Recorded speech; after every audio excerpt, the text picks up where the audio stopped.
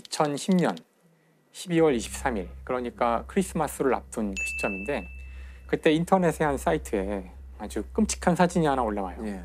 그 사진은 보통 우리가 이제 빵집에서 사 먹는 밤식빵 안에 쥐가 아, 맞아요. 아, 기억나요. 지금 예. 한 누리꾼이 인터넷 커뮤니티 사이트에 올린 사진들입니다. 식빵 사이로 보기에도 흉측한 쥐로 추정되는 물체가 보입니다. 이 사진들은 순식간에 인터넷을 타고 퍼져나갔고 해당 식품업체는 급히 해명에 나섰습니다. 경찰은 사진들의 진위 여부를 가리기 위해서는 게시자의 신원 파악이 우선이라 보고 IP 추적에 나섰습니다. 그 사진 자체가 너무 끔찍. 예. 했고 사람들이 너무나 놀래가지고 그 크리스마스 때에 제과점의 매출이 뚝 떨어질 정도로 굉장히. 그때. 아유. 그래서 결국은 이게 조사를 해보다 보니 놀랍게도 이 사진은 이제 조작된 거죠. 조작된 거란 뜻은 쥐를 식빵에 넣어서 식빵을 만든 거예요. 왜 그렇게 했냐면은 이 범인 이 사진을 올린 이 사람이 사실은 문제가 되었다고 했던 그 제과점 근처에서 제과점을 하던 아. 동정 업종의 경쟁 예, 경쟁 업주였던 것이죠. 범행을 결심한 김 씨는 아들에게 만 원을 주며 경쟁 제과점에서 식빵을 사오라고 시켜 해당 업체의 구매 영수증과 비닐봉투를 입수했습니다. 김 씨는 자신의 매장에서 제빵사가 퇴근한 틈을 타 쥐를 넣은 식빵을 만들었습니다. 이후 김 씨는 PC방에서 신분 노출을 막기 위해 자리를 옮겨가며 남의 인적 사항을 도용해 사진을 인터넷에 올렸습니다. 결국은 이제 이것이 밝혀지게 되는데 이때 그럼 과연 그 식빵이 어느 식빵인지 이런 걸 알아낼 수 있을 것 같지는 않잖아요. 식빵은 다 그렇죠. 식빵인데 식빵에 지분이 없으니까. 그 식빵은 그냥 식빵이잖아요. 식빵이죠. 그때 이제 국가수에서 이걸 조사를 들어가요. 그래가지고 바로 여기에 지금 제가 이야기한 그 화학적 지문, 네. 동위원소를 이용한 화학적 네. 지문 기법이 사용돼요. 그 빵집에서 나온 빵들과 밀가루 거기에 있는 것의 동위원소 비율과 지금 의심받고 있는 제과점의 밀가루나 거기에 있는 빵들 그것들의 동위원소 비율을 비교한 거예요. 어. 이쪽이랑 같은 거죠. 그 역이 물질이냐 아니냐를 판가름하는데 화학적 지문으로 볼 수 있겠네요. 그렇죠. 국가원은 쥐식빵의 겉모습이 김씨 매장에 있는 빵틀과 일치하고 칼슘과 마그네슘 또 나트륨 등 빵의 성분 역시 김씨 매장의 식빵과 유사하다고 밝혔습니다. 이 일은 제가 한 일이니까 혹시나 다른 집안 관련된 일을 하시는 분들에 대해서 의심스러운 눈치를 주지 않으셨으면 하는 마음이고요. 염치는 없지만 지금 이런 장면들이 자꾸 많이 나가면 나갈수록 가족들에 있는 그에 상응하는 또 다른 피해들이 있으니까요. 좀 자제 좀 부탁드리겠습니다.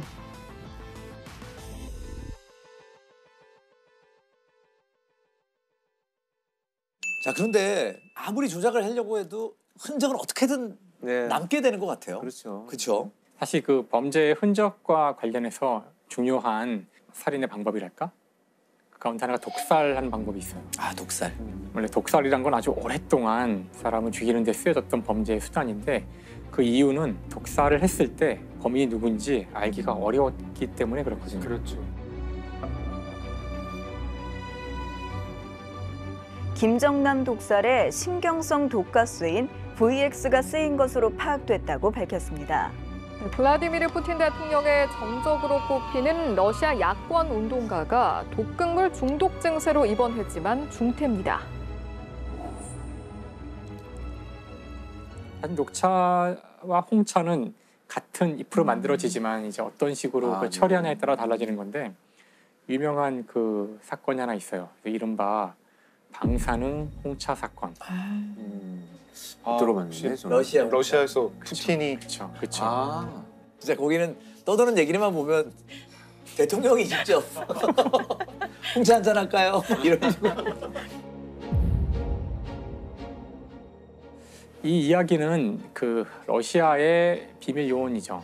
알렉산드르 리트비넨코라는 사람이 있는데 이 사람이 러시아를 벗어나서 영국에 망명을 하게 돼요. 음. 더군다나 이 사람이 영국에 가서 가만히 있었던 것도 아니고 막 그 현재 러시아 정부를 막 비판하고 아. 음, 아마 러시아 입장에서는 눈에 가시 같은 존재였을 수 있어요.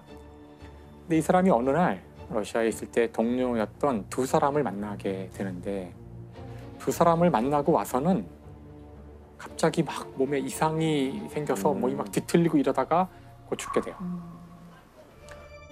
머리칼이 다 빠지고 혈색을 잃어버린 남성, 전직 러시아 스파이 리트비넨코의 사망 직전 모습인데요.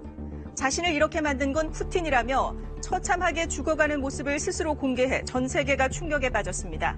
푸틴 정권을 공개적으로 비판해 러시아 정부의 눈에 가시였던 리트비넨코. 지난 2006년 11월 런던의 한 식당에서 전직 동료들을 만나 녹차를 몇 모금 마신 뒤 며칠 지나지 않아 구토와 극심한 복통을 호소했습니다.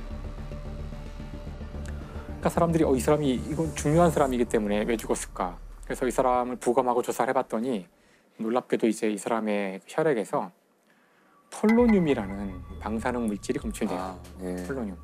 아마 들어보시지 못했을 확률이 굉장히 큰 물질인데요. 예. 폴로늄. 그 일반적으로는 존재하기가 거의 힘든 인공적으로 만들어지는 방사능 물질이에요. 이것도 화학 기호가 있나요? P PO, 폴로늄. PO. 그래서 폴로늄은 언제 이게 저희가 그 공부하다가 듣게 되냐면은 퀴리 퀴리 부인 할 때 얘기가 나와요. 음. 퀴리 퀴리 부인. 네, 퀴리 부인이 먼저 폴로늄에서 폴로늄을 추출하고 방사능 물질, 그 다음에 나중에 라듐을 추출하게 되는데 폴로늄을 폴란드. 붙인 이유가 그렇죠. 네, 조국, 자기 조국 폴란드에 이름을 붙인 거예요. 이 방사능 물질 폴로늄을 살인 도구로 썼다는 뜻은 이건 전 세계 몇 개 나라밖에 할 수가 없는 그것도 네, 네. 최고위 어떤 그 정보국 정보부라든가 이런 데서밖에 할 수 없는 그런 평소에 보통 사람들은 얻어낼 수 없는 물질이라는 거죠. 얻어낼 수 없어요. 네. 우리 여러분 접근할 수도 없고 이거 볼 수도 없어요. 일반적으로는. 뭐 하니까 뭐 다른 독극물을 써도 되는데 굳이 그걸로 죽인 이유가 우리가 죽인 거 맞아라는 거 은근히 알리는 거죠. 예, 보복한 거야, 까불지. 말아요. 그렇죠. 결국 2016년 영국 정부는 그 러시아의 푸틴이 이 살인 사건의 배후인 것 같다라고 공식 발표하게 됩니다. 푸틴 러시아 대통령이 10년 전에 발생한 러시아 스파이 독살 사건을 직접 승인했을 것이라는 보고서가 영국에서 나왔습니다. 원자로에서 만들어지는 방사성 독극물 폴로니엄 210을 러시아 정부의 개입을 보여주는 증거로 꼽았습니다. 조사팀은 리트비넨코 살해 작전이 러시아 연방 보안국과 푸틴 대통령에 의해 승인됐을 것이라고 결론 내렸습니다.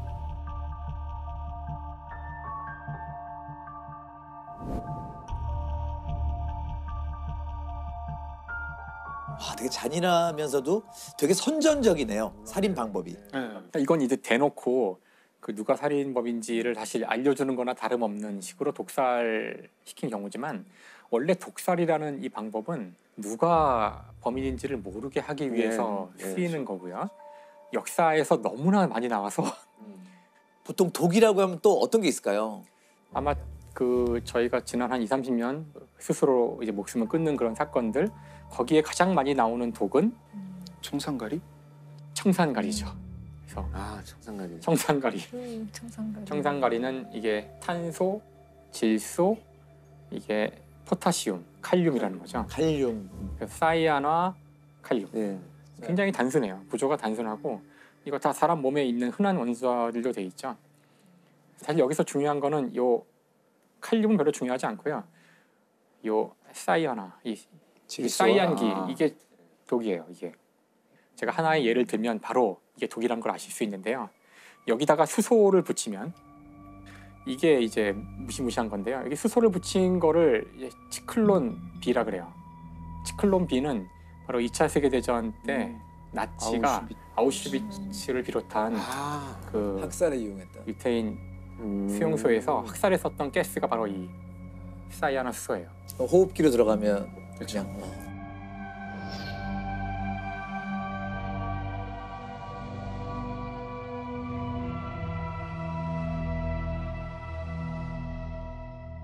이게 얼마나 효율적인 독인지는 이미 2차 세계 대전 때 검증이 된 거죠. 그래서 이게 사실 몸에 들어오면은 이게 그 어떤 역할을 하냐면은 사람의 몸의 세포에는 미토콘드리아라는 게 있어요. 음, 네. 네.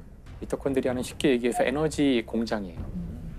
그 산소와 음식물을 결합하는 그 반응이 일어나는 곳이 바로 미토콘드리아인데요.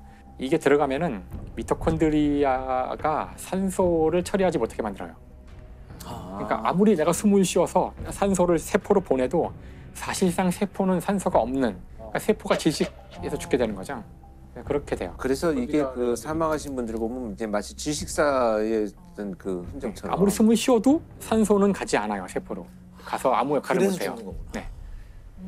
그러니까 무서운 거죠. 여기서 그래서 우리가 한번 질문을 던져볼 수 있는 게 과연 독이란 무엇인가? 독 이런 질문을 해볼 수 있거든요. 사실 이런 많은 독들이 어디서 오냐면은 식물에서 많이 와요. 식물. 음. 아, 그렇죠. 그럼 왜 식물은 독을 만들까? 이런 생각을 해볼 수가 있어요. 자기를 보호하기 위해서. 동물은 위험에 처하면은 도망가면 되거든요. 네네. 근데 식물은 위험에 처하면 어떻게 할 수 있을까요? 음. 도망갈 수가 없으니까 도망갈 수가 없죠. 그 자리에 있어야 사실 되니까. 모든 식물은 기본적으로 다 독을 만들어요. 모든 식물은 독초예요. 음. 그러니까 이것이 독이다 아니다라는 기준은 단지 우리가 그 식물이 만든 독을 감당할 수 있느냐는 거고, 근데 그것도 감당한다는 거지 결국은 독이에요. 그러니까 그것도 양이 어느 이상 되면은 감당 못해요. 저희가 한번 다뤘지만 에탄올 같은 경우는 식물이 아니라 균이 만드는 독이죠. 네. 효모균이. 그렇죠. 그러니까 이런 것들은 독이기 때문에 근본적으로 우리 몸에 들어왔을 때 뭔가 마비를 시켜요. 네. 특히 동물을 대상으로 할 때는 신경계에 마비를 줘서 네 네. 뭔가 신경이 약간 작동 안 되게 만드는데 음. 우리 같은 큰 동물은 조금 먹어도 그 정도 마비는 기분이 좋은 거야. 적당히 마비가 되거나 그래서 우리가 그거를 이제 그 기분이 좋게 하거나 그런데 먹는 것뿐이지 기본적으로는 다 독이에요. 그래서 뭐 카페인, 카페인. 니코틴 이런 거 다 독이에요. 그렇죠. 니코틴 중. 또 중독이라는 얘기 많이 하잖아요. 니코틴 그렇죠. 중독된다. 니코틴이 중독되는 건데 네. 오늘의 비장의 아, 이거 오늘 진짜 뭐 이거 구슬이 힘들었어요. 계속 나옵니다. 와 이래, 이렇게 복잡해요? 니코틴? 아, 그러니까 이게 제가 이제 사실 범잡 나오면서 자꾸 이제 이 분자로 이거 이것저것 만들어 보는 거 재밌더라고요. 그래가지고 집에 이거 300짜리 300개짜리 샀어요. 그래가지고 막 이것저것 만들어 보는데 오늘 다룰 거 이렇게 조립해서 오시고. 아니, 오늘 안 다루는 것도 이제 네. 막 화학식 나오면 만들어 보고 하는데 이게 니코틴이랍니다. 와 이때까지 만드신 것 중에 제일 복잡한데요? 이건 만드니까 참 보람도 있고 뿌듯하더라고요. 네, 그래서 이게 니코틴인데 검은색이 검은색은 탄소고요. 탄소, 다음에 파란색이 질소, 질소. 다음에 하얀색은 수소죠. 어. 그러니까 그냥 니코틴 같은 경우도 이제 아까 이야기 들어오면 이것이 신경에 영향을 주는 물질이라서 조금 섭취하면은 이제 기분이 좋아지죠. 근데 많이 섭취하면 당연히 안 좋고요. 이것도 이제 다량을 한꺼번에 농축된 네, 네, 니코틴을 섭취하면은 죽을 수 있어요, 당연히. 그 2007년도 보성 저 이제 어부 살인 사건으로 많이 알려져 있고요. 어 부 살인. 네. 보성에 살고 있던 어부가 2회에 걸쳐서 총 4명을 살해한 어, 연쇄 살인 사건입니다. 음. 제가 현장에 투입이 됐었던 사건이고 그래서 이제 그 하나씩 살펴보면요. 2007년 9월 1일에 밤 10시경에 그 딸이 밤 10시가 되도록 연락이 안 되니까 네. 한 어머니가 이제 실종 신고를 합니다. 그런데 경찰이 그 수사를 해보니까 이제 대학에 다니고 있던 이 딸이 같은 과에 있는 남자친구하고 같이 이제 보성 지역을 이제 여행을 하고 있는 것이 이제 흔적이 발견이 됐습니다. 이제 8월 31일에 어, 마지막 CCTV를 보니까 실종이 된 여성 A와 남자친구 B가 숙소에서 같이 나와가지고 바닷가 쪽으로 가는 뒷모습이 찍혀 있습니다. 네. 그 이후로 둘 다 실종이 둘 됐습니다. 다 없어요. 네. 네. 그래서 이제 그 수색을 하고 있던 중에 A 여학생이 시신으로 발견이 됩니다. 그래서 이제 살인 사건으로 수사를 전환을 하고 남자친구의 행적을 조사를 하고 있던 중에 결국은 이 남자친구도 시신으로 발견이 되어버렸습니다. 이 남자친구가 굉장히 건장한 체격을 갖고 있어요. 그런데 양쪽 발목이 골절 상태처럼 발목이 양쪽이 되어 있고 뭔가 이렇게 깊이 상처가 패인 것처럼 발견이 됐습니다. 그래서 이제 수사가 전개되고 있던 중에 9월 25일에 놀러 온 두 여성이 있었는데 네. 또 시신으로 발견이 됐습니다. 다 보성에서요? 그렇죠. 그 장소 근처 이제 인근 해안이죠. 인근 해안에서 이제 경찰이 거기서 수사를 하고 있는데 시신이 또 발견이 되는 그 렇죠. 수사를 하고 있는데 또 두 명의 시신이 발견이 된 거죠. 이건 뭐 사고사라고 하더라도 우연히 20일 만에 두 팀이 어, 시신으로 발견된다는 건 이해하기 어려운 사건인데 크지도 않은 마을에. 그렇죠. 네. 그런데 여기에서 문제가 됐던 것이 뭐냐면 이 두 시신에 남아 있는 흔적이 앞에 발견됐던 시신의 흔적처럼 날카로운 것에 배어 있고 또 있어요. 아. 또 발- 골절이 있었던 거예요. 아, 그리고 심지어 이제 이 두 분의 피해자들은 좀 멍이 있었고 누군가한테 이제 맞은 흔적이 나타났기 때문에 연쇄적으로 벌어진 사건으로 판단을 하고 이제 수사를 전환을 하게 됩니다. 그래서 그 1차, 2차 사건의 영화성을 찾다 보니까 한 가지 공통점을 발견을 했습니다. 이 1, 2차 사건의 피해자들이 모두 어떤 선박에 타고 있었다라는 것이 이제 밝혀졌다는 거죠. 이제 첫 번째 사건에서는 이 여학생이 119에 네 번이나 통화를 시도한 흔적이 경찰이 발견을 했어요. 근데 2, 3초 만에 끊습니다. 뭔가 얘기를 하지 않고. 근데 통화 녹음된 거 들어보니까 모타 소리가 들리는 거예요. 그래서 누군가의 배에 지금 타고 공격을 당했다는 것으로 추론을 해나가기 시작을 합니다. 해상 연쇄 살인 사건의 첫 피해자인 대학생 추모 양이 119에 네 차례 전화한 것은 지난 8월 31일. 최 양은 당시 119에 전화한 뒤 아무 말도 하지 않았지만 배의 엔진 소리인 기계음이 들렸습니다. 그러다 보니까 누군가의 배에 타고 있었다라는 것이 이제 짐작이 되고 두 번째 사건에서는 두 여성이 이제 바닷가를 산책을 하고 있는데 한 여성이 아 내가 갑자기 남편한테 전화를 좀 해야 되는데 전화기가 없어서 그러니 전화기를 빌려주세요라고 예. 자기 남편하고 통화를 합니다. 그리고 고맙다고 인사를 하고 갔어요. 근데 이 두 분이 어느 정도 시점이 지난 상황에 전화기를 빌려줬던 피해자들로부터 배에 갇힌 것 같다. 경찰 보트를 불러달라라고 하는 문자를 받고 경찰에 신고를 합니다. 그래서 누군가의 배에 지금 타고 지금 공격을 당했다라는 것으로 추론을 해나가기 시작을 합니다. 그러던 중에 이제 그 탐문을 하다 보니까 그 마을에 70대 노인이 계신데 이 사람이 누군가 젊은 친구들을 좀 태우는 걸 봤다라는 이제 진술을 확보를 합니다. 그래서 한 배를 찾아요 결국. 그래서 찾아가지고 거기에서 20대 여성들의 물건들을 찾습니다. 아, 뭐 그래서 유력하네요. 볼펜, 머리끈, 그다음에 뭐 모발 심지어 이런 이제 결정적인 피해자들이 이 배에 탔다라는 이제 그 배를 이제 확보를 하게 되죠. 그래서 이제 70세의 어부 오모 씨를 체포를 합니다. 그런데 이 두 번째 피해자 C와 D의 여성 피해자들의 증거물만 나왔기 때문에 이 1차 사건에 대해서는 끝까지 부인을 하고 있었던 상황이긴 네. 했는데 재판이 진행되던 중에 이 소위 쌍끌이 배가 있잖아요. 두 배가 같이 가면서 그물, 그물을 연결을 해가지고 양쪽으로 쌍으로 바닥을 끌고 가거든요. 이 배가 건진 물건이 뭐냐면 A와 B가 찍었던 디지털 카메라를 빠뜨린 것을 건졌어요. 그것을 건져가지고 이 두 피해자가 그 범인과 같이 탄 배에 있는 사진이 찍혀 있는 것이 복원이 됐습니다. 그러니까 결정적이네요. 뭐 결정적인 증거로 그런 것들을 가지고 추궁을 했더니 이제 결국 자, 그 자백을 합니다. 성범죄를 저지르려고 했는데 피해자들이 저항을 해서 살해를 했다 이렇게 이제 자백을 합니다.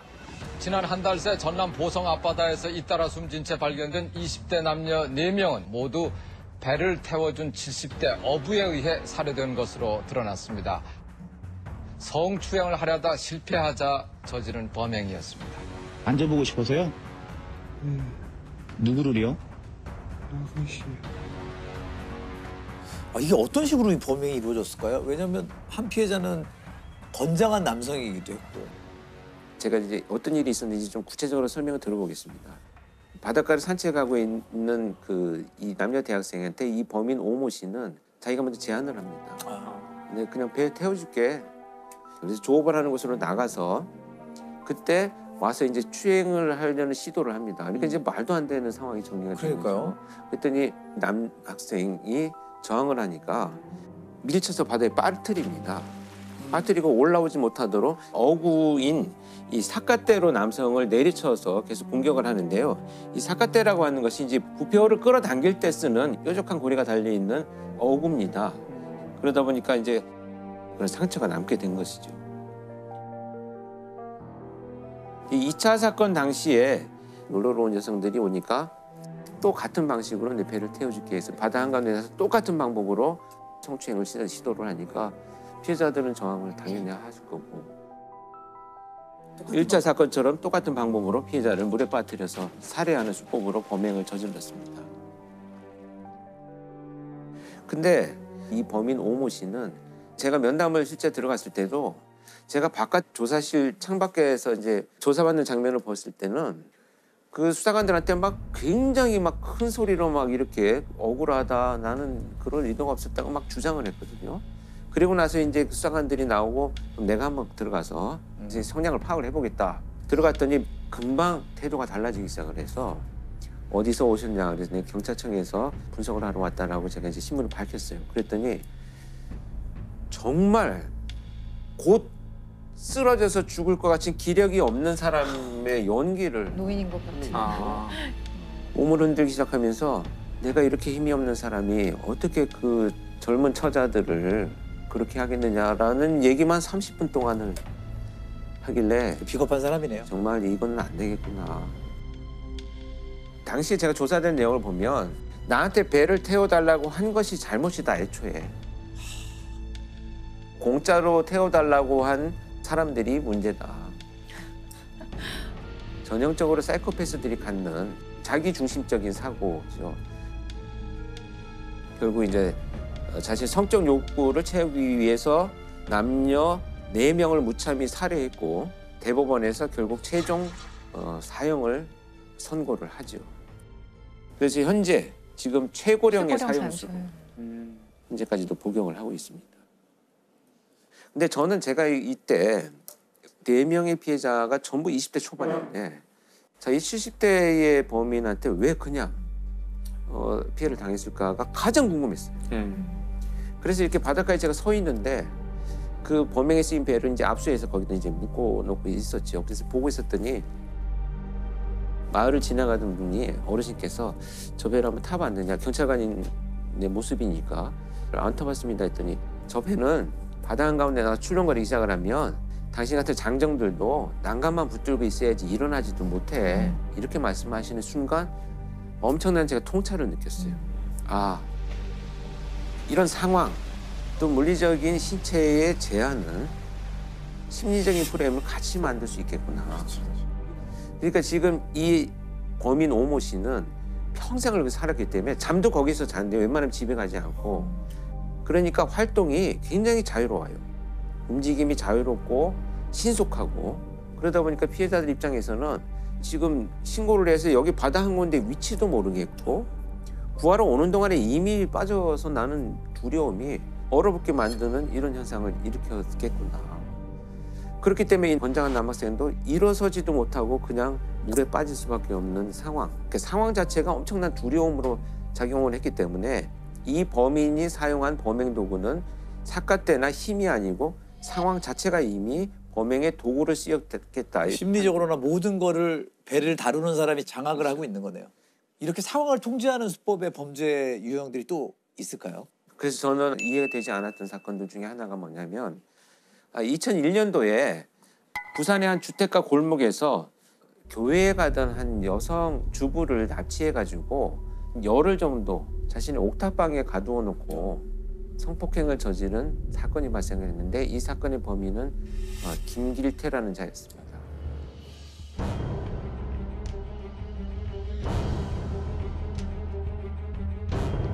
김 씨가 지난 2001년 5월 길 가던 30대 여성을 납치해 열흘 동안 감금하고 성폭행한 곳이 바로 이곳 옥탑방입니다. 김 씨는 외출할 때 피해자의 손발을 묶고 입을 테이프로 막아 밖에서 문을 걸어 잠그기도 했습니다. 자신의 거처를 여러 차례에 걸친 성폭행 범죄의 거점으로 이용한 겁니다. 어부 사건이 선박이라고 하는 장소를 이용을 했다라고 하면 김길태 사건에서는 자신의 옥탑방을 이용했다라고 하는 이 장소적 특성을 우리가 이제 공통점으로 볼 수가 있겠습니다.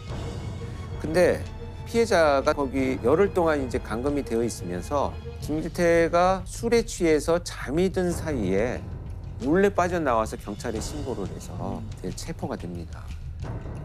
아마 들으시면 너무 분노하고 화가 나실 텐데 제가 방금 말씀드린 이 첫 번째 사건에서 김길태가 무려 50페이지에 달하는 어, 탄원서를 자기가 작성을 해서 법원에 제출합니다. 그 50페이지를 제가 다 읽어봤어요.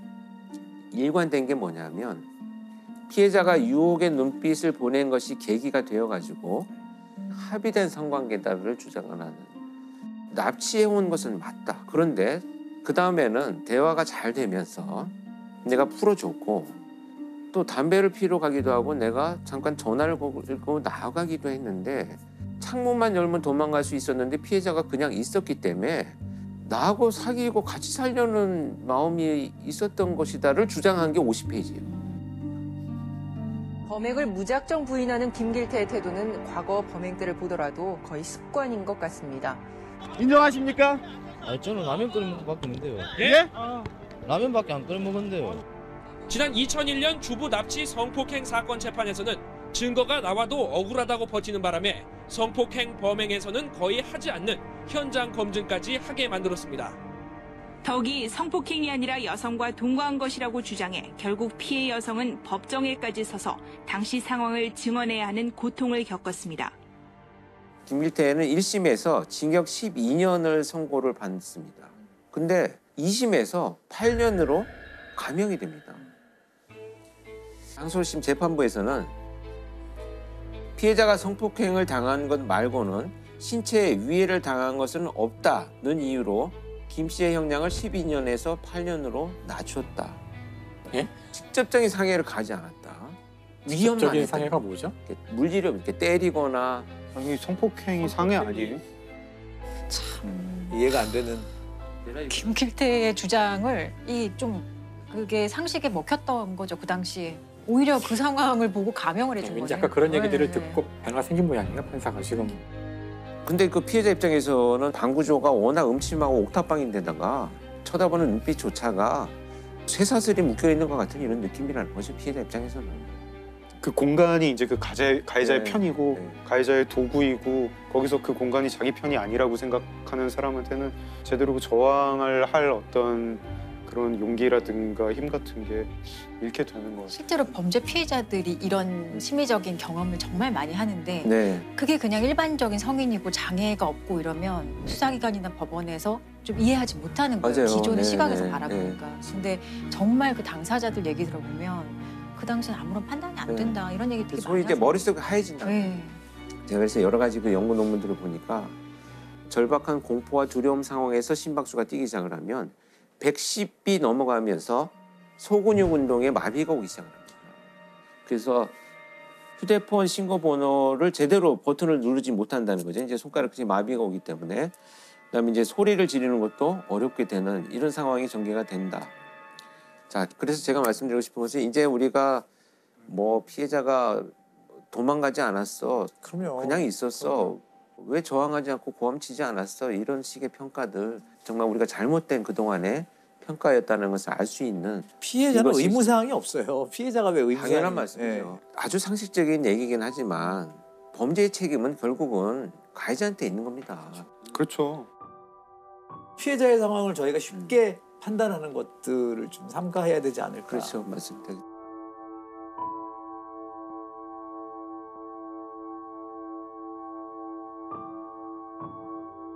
가지 발달된 것들 때문에 우리가 지금 노인이라고 말하는 기준이 그렇죠. 사실 과거의 기준일 수도 있고요. 수도 많아지고 건강해지고. 그럼요. 영국 이코노미스트가 출간한 2020년 세계 경제 대전망에서 YOLD라는 말을 이제 사용을 합니다. Young old. Young old의 young- 합성어예요. Young old. YOLD. 그러니까 말 그대로 젊은 노인이라는 건데 말에 어폐가 있지만 사실 정말 이제 젊은 노인이 정말 많아지게 된 거고 이제 더 이상 노인의 기준이 좀 바뀌어 가는 것 같아요. 젊은이의 영역이 좀 넓어진다. 노인들은 사실 확실히 과거에 비해서 젊어졌거든요. 그렇지만 여전히 노인들을 바라보는 시각은 상당히 낡아 있고 이런 낡은 인식이 가장 강하게 작용하는 것이 노인 성범죄인 것 같아요. 제가 오늘 말씀드리고 싶은 거는 이 노인 성범죄 관련한 우리가 가지고 있는 잘못된 어떤 네. 편견 때문에 발생하게 되는 일들에 대해서 좀 얘기를 해보려고 합니다. 일단 노인이 가해자였던 사건을 한번 말씀을 드리면 오거돈 시장 사건 같은 경우 너무 이제 언론에 알려졌기 때문에 오거돈 부산시장이 오늘 기자회견을 열고 전격 사퇴했습니다.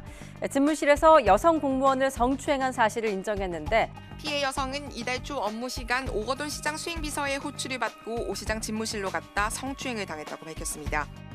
5분 정도의 짧은 면담 과정에서 불필요한 신체 접촉을 하였습니다. 어, 그 변호인이 최후 변론을 합니다. 70대는 양성평등 성인지 감수성이 약합니다. 힘없고 병든 노인의 미친 짓으로 여기시고 용서하여 주시, 주세요. 아유. 70대는 양성평등 성인지 감수성이 약하다며 힘없고 병든 노인의 미친 짓을 용서해달라고도 했습니다. 이런 발언들은 검찰이 징역 7년을 구형한 뒤 나온 것이어서 일각에서는 선고 형량을 낮게 받기 위한 의도라는 해석도 나왔습니다. 사실 이게 되게 이 사건에서 특별하다고 저는 볼 수 없고 실제로 노인 성범죄 피고인들이 주로 사용하는 방법이? 방법이에요. 근데 이게 사실 이런 식의 변론 방식이 비판을 받을 거라는 거를 변호인은 알고 있었을 그렇죠. 거거든요. 네. 그럼에도 불구하고 왜 이런 변론을 마지막으로 했을까? 그동안 먹혀왔다는 거죠. 가명의 사유, 감경의 사유로 상당히 작용이 됐다라고 평가를 했기 때문에 이 말을 했다고 생각을 해요. 그러니까 이 노인 성범죄 가해자들은 주로 이제 법정에서 자기가 얼마나 음. 신체적으로 정신적으로 취약하고 그리고 너무 내가 고령이기 때문에 이번 한 번은 좀 봐달라 그런 온정적인 시각을 네, 네, 네. 상당히 활용을 많이 하려는 경향이 있어요. 음. 그리고 실제로 이 고령이라는 사유만으로 이제 감경이 됐던 사례 제가 두 가지를 하나 말씀을 드릴게요. 체육교사였던 고령의 피고인이 있었는데 이 가해자가 어, 볼링을 가르쳐 주겠다라고 하면서 중학생 두 명을 강제 추행을 합니다. 신체를 만지는 방식으로. 그런데 1심, 2심 모두 강제 추행의 어떤 최저 기준인 천만 원, 벌금 천만 원만 선고를 받습니다. 양형의 유를 보면 변화하는 시대에서 요구되는 성인지 감수성이 다소 부족한 상태에서 경솔한 행동을 자제하지 못하여 이 사건 범행을 저지른 것으로 보이는 점. 이건 아니죠. 이거는 명확하게 교사가 네. 아, 학생들을 강제 추행한 사건인데 네, 네. 성인지 감수성 얘기가 사실 나올 필요가 없는 판결인 거죠. 어, 그렇죠. 네. 노인이 아니었으면 어느 정도의 형량이 나와야 되는 거예요? 어, 사실 이게 아이들이잖아요. 피해자들이 중학생이면은 일반 성폭력보다 더 강하게 처벌이 되기 때문에 요즘에는 사실 실형 선고가 거의 많이 되죠. 그리고 또 한 가지 사례는 놀이터에서 혼자 이제 그네 타고 있는 여덟 살 여자아이를 유인해서 이제 강제 추행한 70대 노인이거든요. 근데 어, 이 사건에서는 선처를 받습니다. 집행유예 판결을 선고한 그 재판부에서는요 피고인이 범행을 자백하며 반성하는 점과 고령인 점 등을 감안해 권고형보다 적은 형을 선고한다. 그러니까 고령인 점이 상당히 감형의 요소로 작용을 했다는 거죠. 그런데 사건 발생 11개월 만에 또 7세 여자아이를 같은 방법으로 유인해서 또 강제 추행을 합니다. 그 재범의 기회를 줬다고밖에 생각할 수 없는 상황이네요. 그러니까 노인이라는 점 이 대전제가 되면 안 되는 네. 것 같아요. 오히려 노인이라는 전제 때문에 그 범죄 질이 감형이 되는 거는 굉장히 좀 안 좋지 않아요? 그래서 이게 어떤 판결문을 쓰는 거에 있어서 사소한 것일 수도 있는데 그냥 맥락 없이 고령인 점 이런 문구가 들어온다면은 피해자가 있는 사건에서는 피해자는 이거를 이해할 수가 없어요. 그렇죠. 구형과 감형 같은 중요한 결정 앞에는 그것의 논리적 이유가 나와야 되는데 그러니까 사람을 죽였으니 뭐 사형을 한다 이렇게 이게 논리적인 이유가 나와야 되는데 나이가 많다는 것이 어떤 이런 결정적 판결의 논리적 이유는 아니라고 생각해요. 그러니까 노인이라도 사실은 그 사회적 지위, 경제적 지위, 정치적 지위가 젊은이들에 비하지 못할 정도로 상당히 높은 경우도 있잖아요. 나이라는 권력도 적극적으로 범행에 있어서 활용하고 또 노인이라는 어떤 일반인들의 온정적인 시각을 활용하는 경우도 되게 많아요. 그래서 이런 것들을 좀 잘 구분해서 피해자 입장에서는 좀 이해할 수 있는 그 양형 기준이라든지 양형의 사유, 양형의 설명이 좀 더 이해될 수 있, 있을 정도로 그렇죠. 나와야 돼요. 설득력이 있어야 되죠. 반대로 그러면 네. 노인들이 피해자인 경우에는 또 달라지잖아요. 노인 피해자이기 때문에 어, 어떤 편견이 또 강하게 작용하기 시작을 해요. 특히 성폭력 문제에서 통념이 피해자가 노인일 경우에는 더 강력하게 나타나는 네. 것 같아요. 노인 피해자의 발생 비율이 2016년에 560건 정도가 공식적으로 집계가 됐고 2020년 800여 건 정도 집계가 돼요. 하루에 두 명 이상의 노인 성범죄 피해자가 계속 꾸준히 발생하고 있는 상황이라는 거죠. 고령 성폭력 피해자 같은 경우는 신고에 상당히 소극적이에요. 내가 성폭력 범죄 피해자라고 수사기관에 신고했을 때 과연 나를 믿어줄까? 심지어 가해자가 자기보다 훨씬 젊은 사람일 경우에 믿어줄까? 젊은 사람이 굳이 왜 맞아요. 노인을 네, 성폭력해? 네, 네. 라는 생각을 사실 누구나 할 거거든요. 네, 네. 그런 상황에서 자식들에게, 가족들에게 아니면 주변의 어떤 동네 사람들에게 남사스러워. 네, 그런 느낌을 가지기 때문에 그냥 넘어가는 경우도 많고 신고를 하고 싶어도 못하는 경우도 정말 많아요. 영화 69세라는 영화가 있어요. 이게 69세. 노인 성폭력 피해를 최초로 아, 이제 소재로 음, 활용한 네. 그 영화인데 사실 실제 사건을 좀 기반으로 해서 만들어진 영화거든요. 60대 여성이 병원에 그 하지정맥류 수술을 하고 입원을 해 있었던 상황에서 어, 다리에 붕대를 좀 새로 감아달라고 이제 30대 남자 간호, 간호조무사에게 부탁을 하는데 또 붕대 뭐 처치실 같은 데 들어가서 어, 이 60대 여성 환자가 30대 남성 조무사한테 어, 강간 피해를 당합니다. 지난 8월 서 씨가 입원해 있던 한 병원. 서 씨가 한 남성 간호조무사와 치료실에 들어간 뒤 30여 분 만에 문을 나섭니다.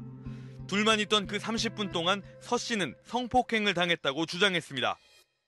그런데 피해자는 바로 신고를 못해요. 왜냐하면 남편도 있었고 곧 결혼을 해서 상견례를 네. 해야 하는 딸이 있었기 때문에 이런 걸 생각하면 자신이 경찰서에 갈 신고할 수 네. 있는 상황이 네. 아니었던 거죠.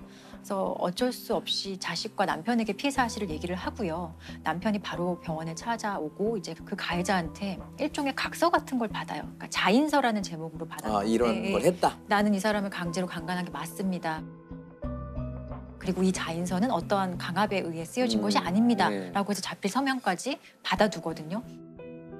그런데 정확히 사건 발생 이틀 뒤에 가해자한테 장문의 문자 메시지가 옵니다. 아, 마치 이 여성 피해자가 음, 원해서 한 것처럼 음. 아줌마가 해달라고 하지 않았나요? 이런 식으로 장문의 문자를 보내요.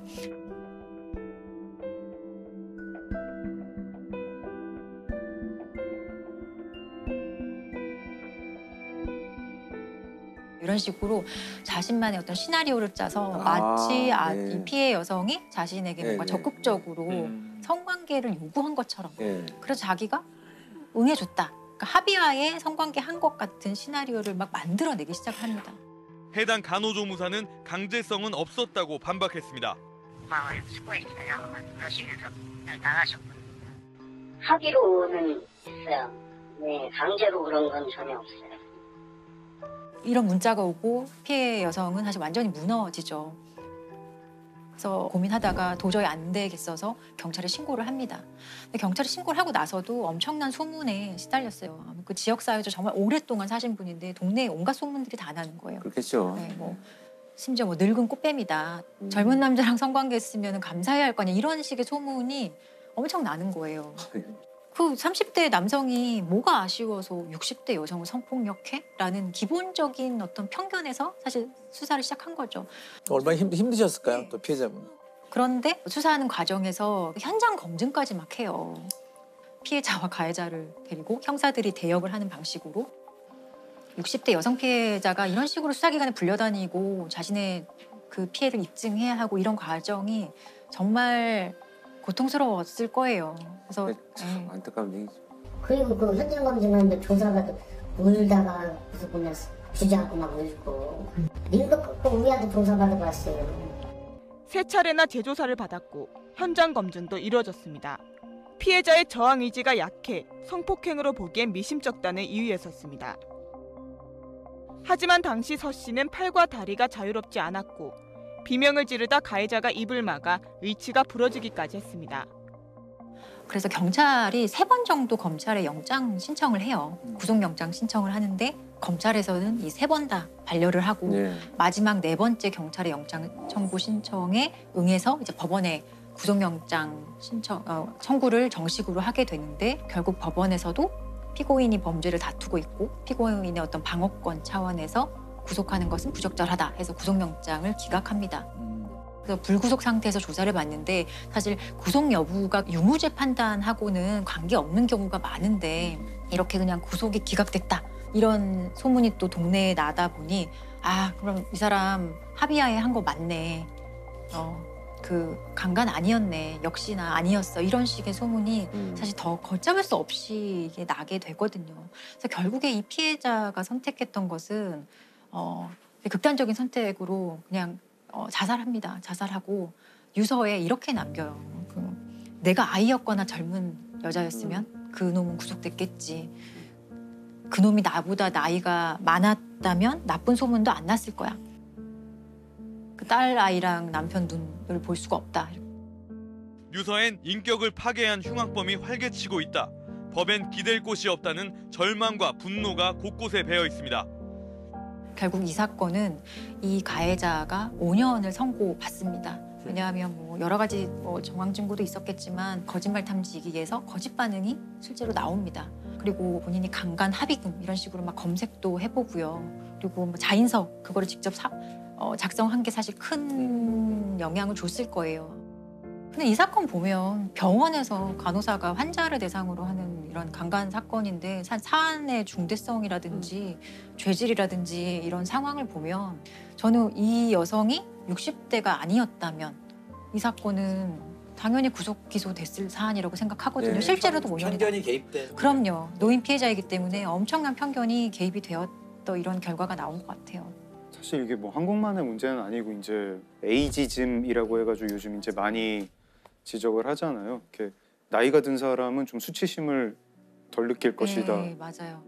사실은 이제 그 사람이 느끼는 그 피해는 그 사람의 나이랑 상관이 없는데 노인들을 상당히 어떤 무성적인 존재, 음, 별로 이제 성별에 따른 네, 어떤 네. 특성이라든지 이런 걸 고려하지 않고 이런 노인 피해자에 대한 그 성폭력 피해자에 대해서 좀 잘못된 편견이 여전히 좀 있는 것 같아요.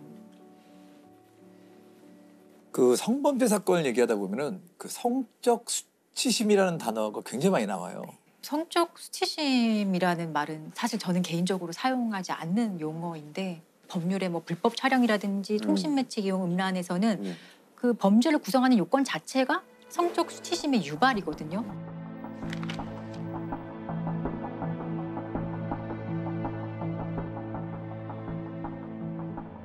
그래서 어- 수사기관에서는 어쩔 수 없겠죠. 어, 법- 법률에 있는 용어이고 법원이 하는 말이기 때문에 물어봅니다. 그래서 이런 추행 피해 또는 불법 촬영 피해를 입고 성적 수치심을 느끼셨나요?라고 물어보면 젊은 친구들은요, 그러니까 10대, 20대, 30대 피해자들은 깜짝 놀래요. 어 왜요?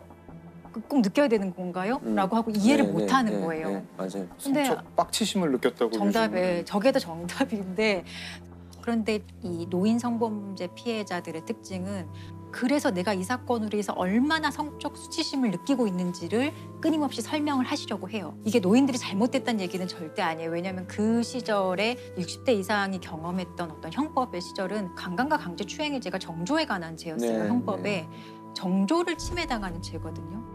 그래서 이런 수치심에 대한 얘기를 자꾸 본인이 하다 보니 그 수치심이 강요받고 본인이 거기 안에서 자기 스스로를 올가매는 것도 있고요. 네. 우리가 그렇게 규정하려는 네, 것도 있고요. 그런데 자, 수치심은 누가 느껴야 될 감정이냐? 피고인들이 느껴야 되는 거죠. 가해자들이 내가 이런 범법 행위를 했기 때문에 느껴야 될 감정이 수치심이거든요. 그런데 이런 성폭력 사건에서는 피해자에게 수치심을 느끼도록 지금 어떤 법률 체계라든지 법원의 판결 방식이 사실상 강요하고 있는 거거든요. 그러니까 이게 참 이상한 게 저희가 이제 만약에 길을 가다가 어떤 나쁜 사람한테 한 대 맞았어요. 그래서 막 거기가 깨지고 그랬는데 나한테 와서 너 부끄럽냐?